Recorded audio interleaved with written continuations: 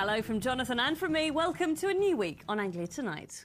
First, it's been a harrowing day for pupils at Ipswich High School after they were shut in after reports an armed gang was nearby. Witnesses called police just before midday, claiming a group of men, one of them brandishing a handgun, had been involved in an accident on the junction of Stone Lodge Lane and Mallard Way.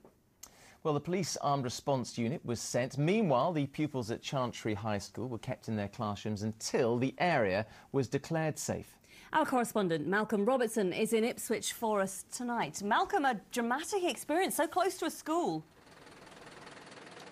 Yes, a very dramatic incident for those at the school and indeed all those on the Chantry estate because that's been sealed off and cordoned off for most of the afternoon and it's only in the last half hour that that has been lifted. And if I come through the hedge here, you'll see that the legacy of what happened earlier is still very evident tonight. That car was involved in the crash. It ploughed through the hedge there and landed in the garden and is in the process of being recovered. Now, what Eyewitness has told us today that following the accident, a number of men were involved in a fight and a handgun was brandished and shots were fired. Now, the police were called, the armed response unit was brought in, and four men were arrested. Now, all this has taken place outside Chantry High School. You can see over there, that's one of the biggest schools in Ipswich, and the pupils were kept in there at lunchtime for their own safety. We were informed by the police that it was a serious incident, um, so we made the decision based on the advice of the police to ensure that all young people and staff were kept indoors. And then we followed the police advice about keeping our young people safe inside until we felt it was a reasonably safe uh, time, so we could dismiss the pupils. So, Malcolm, that's been the response of the school. What have the police been saying? Have you, have you had a chance to speak to them? Yes, tonight they're saying that four men were arrested. Two are being held in Ipswich tonight, two at Bury St Edmunds, all on suspicion of possession of a firearm. Now, the police have been busy throughout the afternoon searching the area. They've searched a number of houses, and I understand that a number of weapons have been recovered. Now, what they're also saying is that there is no link between what happened here today and a couple of incidents last week of attempted abduction outside a couple of primary schools in Ipswich. But in the last half hour, this cordon here has been lifted, but clearly the investigations into what has been a dramatic incident are continuing.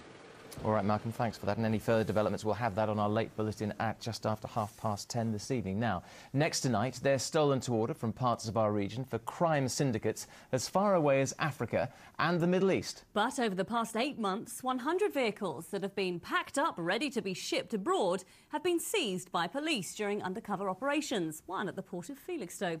Victoria Webb has more. Disguised by a sofa, TV and tumble dryer, another 4x4 stolen to order should be on its way to criminals as far away as Africa right now. Amongst the thousands of containers here at Felixstowe, officers have been targeting the ones they believe could hold other vehicles that have been stolen and given fresh number plates ready to be shipped abroad. Investigations over the past eight months involving police from across our region, as well as the UK Border Agency, have prevented these criminal gangs from cashing in on 100 high performance cars, mainly Range Rovers, but they also include Porsches and Aston Martins. These gangs work fast. Some of the cars police have recovered were only stolen the night before. Operation Revel is the second part of an operation which began last autumn and has now been rolled out to ports across the country. Back then, 70 cars were seized. In the last three weeks, they've come across 31 vehicles. Predominantly this time around, we're, we're actually recovering less.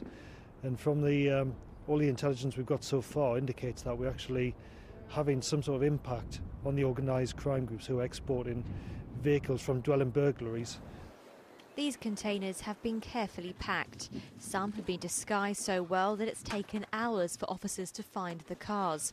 With others, there hasn't been as much care. The priority to get the cars inside and to the destination as quickly as possible.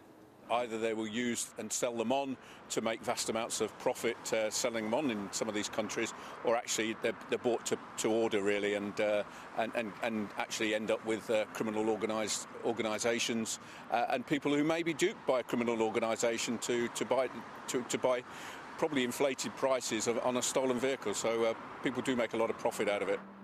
As well as keeping an eye on goods coming into the country, the UK Border Agency says this investigation shows there's a strong emphasis on the exports too. These operations alone preventing criminal gangs from pocketing more than £2 million. Victoria Webb, Anglia News, Felixstowe. Well, it's been another anxious day for anyone hoping to fly abroad after a fresh cloud of volcanic ash over the UK threatened further disruption at our airports. Well, in the end, the cloud caused far fewer problems than first feared. Stansted and Luton airports both stayed open, though some flights were cancelled. But could the uncertainty in our skies, coupled with the fear of a strike by British Airways staff, be about to deliver a summer boost to our region's own tourist industry? Well, Rhiannon Mills is at Stansted Airport for us now. Rhiannon, how are things looking there tonight? Becky, we had those warnings yesterday that we could see more flights grounded today. In fact, things have been brighter at our region's airports than were expected.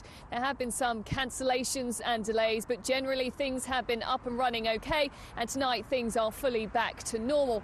However, with that volcano continuing to erupt in Iceland, there are some experts who are warning that it could continue to cloud plans for our summer holidays. So, could that be a bit of a boost for tourism back in our region? I've been finding out.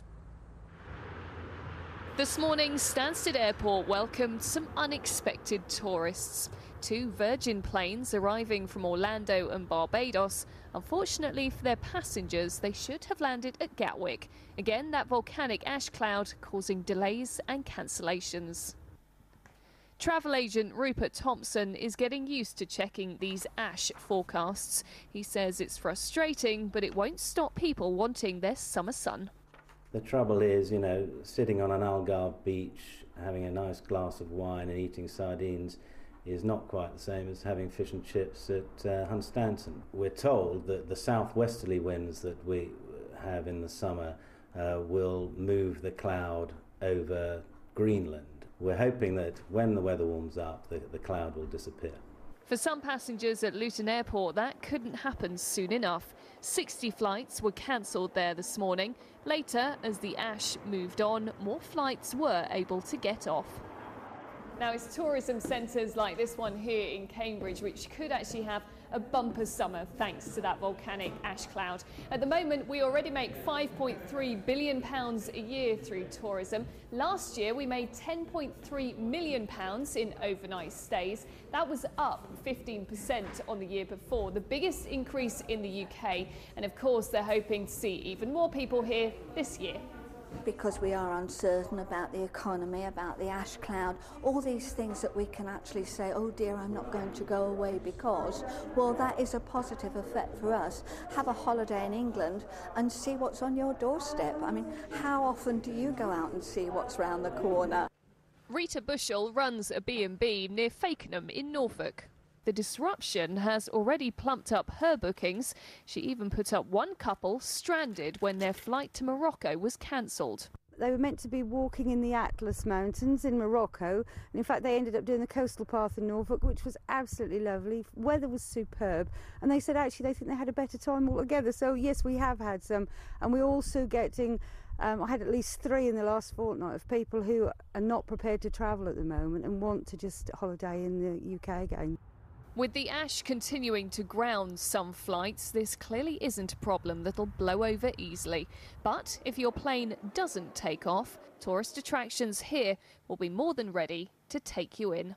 Rhiannon Mills, Anglia News in Cambridge. Well, some news.